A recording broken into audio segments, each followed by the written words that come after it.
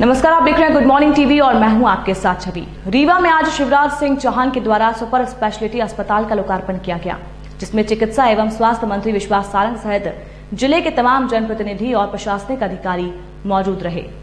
मध्य प्रदेश के मुख्यमंत्री शिवराज सिंह चौहान आज अपने एक दिवसीय प्रवास पर रीवा आए, जहाँ पर उन्होंने 150 करोड़ की लागत से बने सुपर स्पेशलिटी अस्पताल का लोकार्पण किया। इसके साथ ही 400 करोड़ तक के विकास कार्यों का भूमि पूजन किया। इस दौरान कार्यक्रम में उनके साथ चिकित्सा एवं स्वास्थ्य शिक्षा मंत्री, विश्वास सारंग, राज्य मंत्री राम खिलावन पटेल सहित रीवा ज़िले के तमाम जनप्रतिनिधि मौजूद रहे। रीवा की जनता की बेहतरी के लिए बनाए गए सुपर स्पेशलिटी अस्पताल में कुल 240 बिस्तरों की व्यवस्था कराई गई है। इसके साथ ही अस्पताल परिसर में जाँच की तमाम सुविधाओं का भी ध्यान रखा गया है। साथ ही इसमें अत्याधुनिक मशीनें लगाई गई हैं। सुपर स्पेशलिटी हॉस्पिटल में cardiology CTVS neonatology, neurology neurosurgeon nephrology एवं यूरोलॉजी संबंधित स्वास्थ्य सुविधाएँ उपलब्ध हैं। सुपर स्पेशलिटी हॉस्पिटल विंध्य क्षेत्र के लिए एक बड़ी सौगात है। रीवा, सीधी, सिंगरौली, उमरिया, सतना, पन्ना आदि जिलों से इलाज के लिए मरीज़ संजय गांधी अस्पताल रीवा पहुँचते हैं।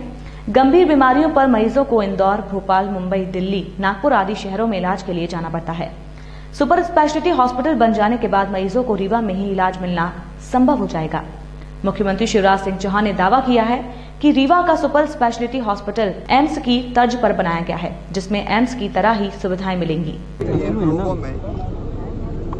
चाहे वो हृदय संबंधित बीमारियाँ हो, चाहे बाकी बीमारियाँ हो, जिसमें दिल्ली की जनता को इलाज कराने के लिए बाहर जाना पड़ता था, वो इलाज अब यहाँ संभव होगा।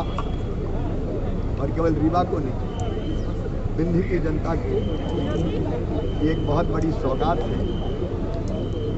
और इस सौगात के लिए मैं रीवा की जनता को समर्पित हम लोग करते हैं और बधाई भी देते हैं। इस खबर में फ़िलहाल इतना ही, और भी खबरों के अपडेट्स के लिए आप बने रहिए गुड मॉर्निंग टीवी के साथ। गुड मॉर्निंग टीवी को यूट्यूब में सब्सक्राइब करें और बेल आइकॉन भी दबाएँ। नमस्कार।